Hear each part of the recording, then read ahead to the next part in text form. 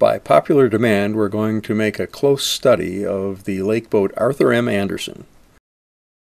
The vessel is best known for her role during the wreck of the Edmund Fitzgerald on Lake Superior. On the night of November 10, 1975, the Anderson was between 11 and 9 miles in trail of the Fitz and was the last one to be in visual, radio, and radar contact with the doomed boat. She was also one of the only two vessels that decided to leave the shelter of Whitefish Bay and go back into the storm churned lake to search for survivors. In this program, we'll examine her shipyard drawings.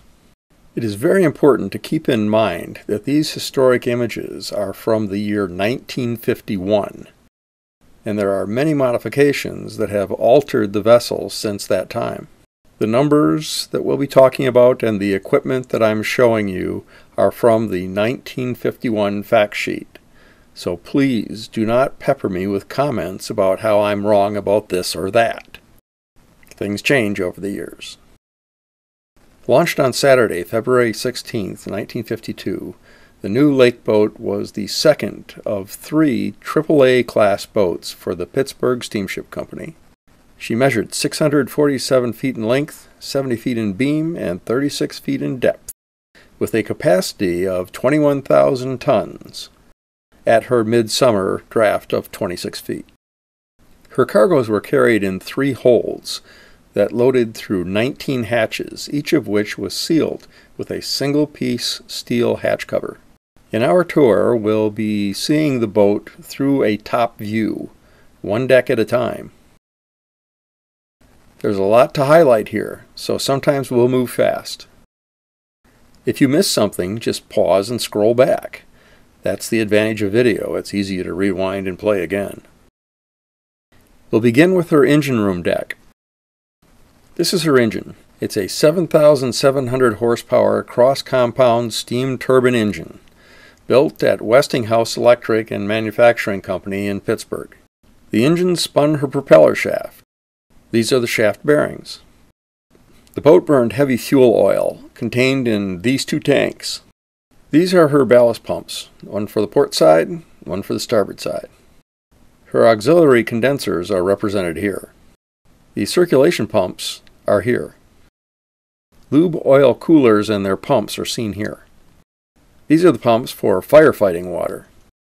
Reserve feed water is stored in this tank. These are the ballast priming pumps. Auxiliary ballast pumps are located here. Denoted only as, quote, heating boiler, unquote, my guess is this is the donkey boiler for winter layup. Now we climb up one deck to the operating deck.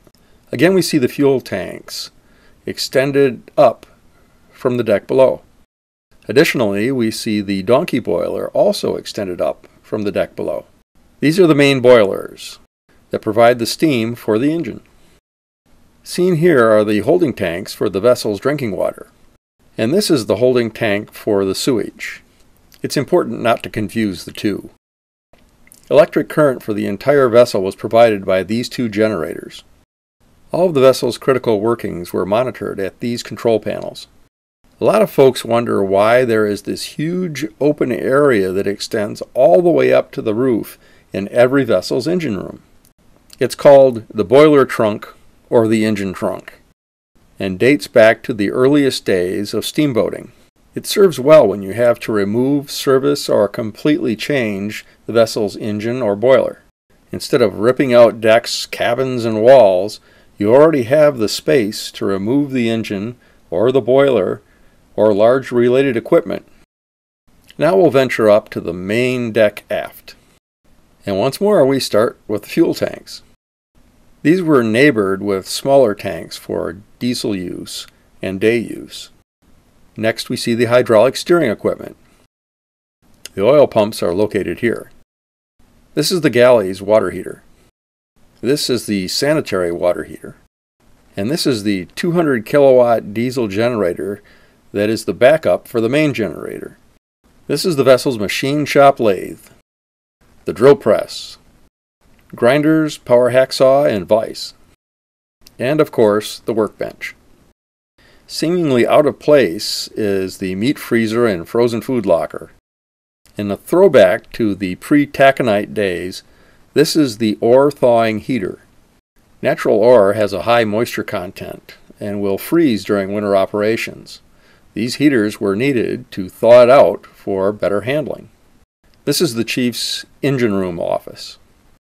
The mechanical spares room, and one of the most used rooms on any vessel, the paint locker.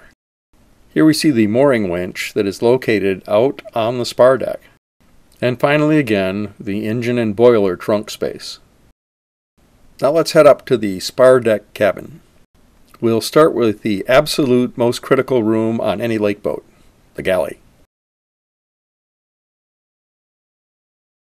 Its pantry, and the freezers and refrigerators. Here is the crew's mess.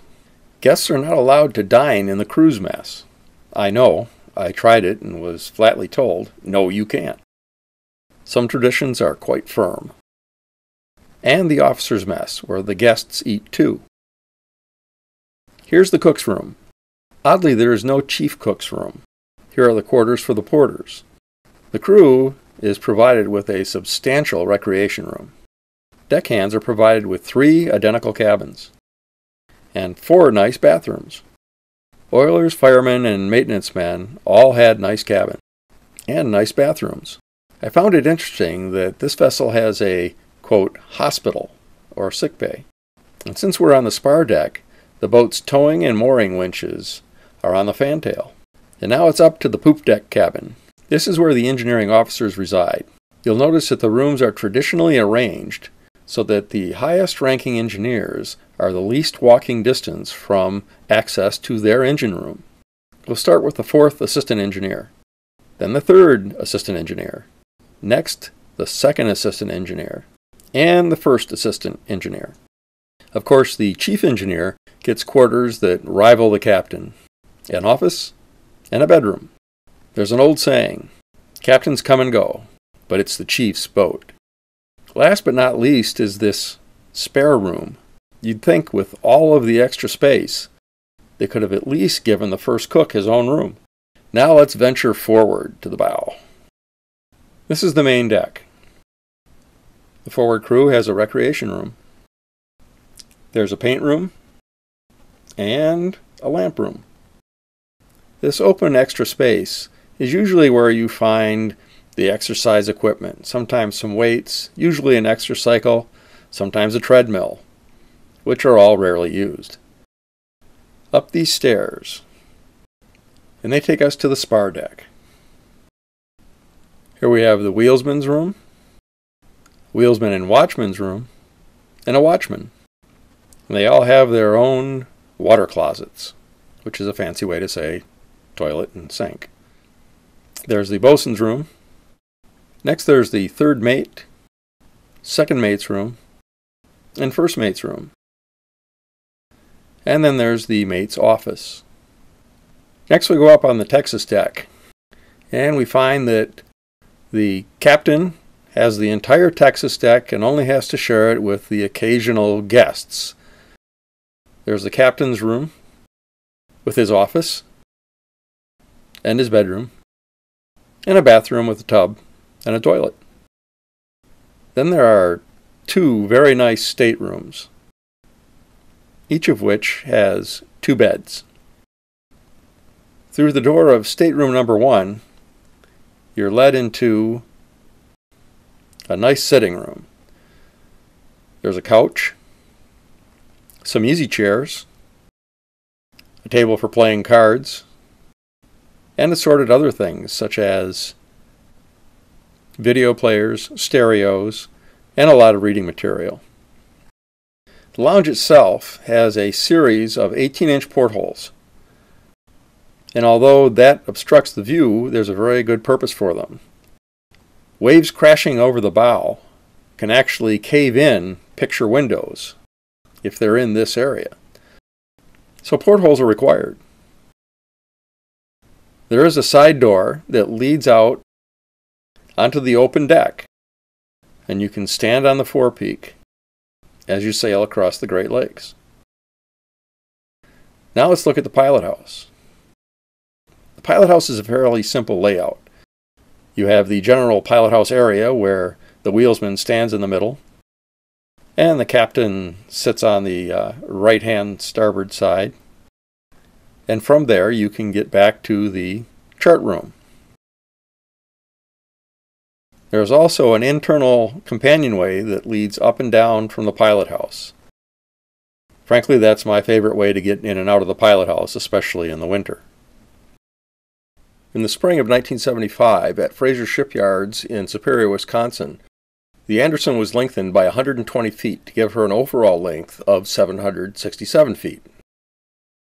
Then, during the winter of 1981 82, at the same shipyard, she was converted into a self unloader, which is the configuration that she remains in today. And so there we have the Arthur M. Anderson,